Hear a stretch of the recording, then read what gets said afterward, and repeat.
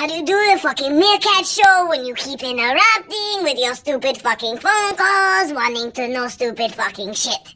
This is important, okay? Important meerkat business we're attending to, okay? So today on the prairie, you know what I seen?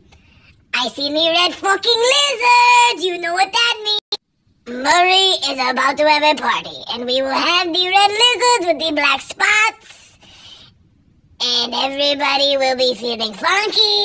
Get very groovy, you know. And we will do the meerkat things. We will dig the holes, we will run through the tunnels, you know, do the fast run. I mean, nobody parties like a fucking meerkat, I tell you that, alright? We know how to get down. And do you want to get down with us? I mean, that is up to you. On the manor, we have a saying. It goes a little like this. Ain't no party like a meerkat party, cause a meerkat party don't stop.